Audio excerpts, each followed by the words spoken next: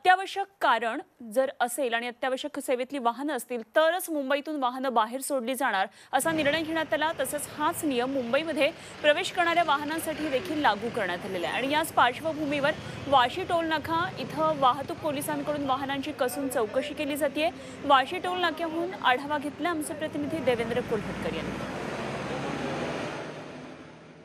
यावेळी मी वाशी टोल नाका इथे आहे आणि या ठिकाणी आपण बघू शकता की मुंबईच्या बाहेर जी वाहनं येतात आहे त्याची या ठिकाणी चौकशी केली जाते आणि अत्यावश्यक सेवेतलं हे वाहन नसेल किंवा व्हॅलिड रिझन नसेल तर त्या वाहनाला इथूनच युटर्न घेऊन पुन्हा मुंबईच्या दिशेने पाठवलं जात आहे. त्यामुळेच मुंबई शहराच्या बाहेर असेल किंवा आतमध्ये असेल अनावश्यक जे आहे ते लोकांचा संचार असू नये. यासाठी अशा पद्धतीच्या उपाययोजना ज्या आहेत त्या पोलीस खातं असेल वाहतूक खातं असेल त्यांच्यामार्फत करण्यात आलेल्या आहेत. तशा पद्धतीच्या कडक जे चौकशी असेल किंवा तपासणी असेल ती या ठिकाणी सुरू असलेली आपल्याला पाहायला मिळते. व्हिडिओ जर्नलिस्ट हरीश सावंतचा देवेंद्र कोलटकर झी चोवीस तास मुंबई.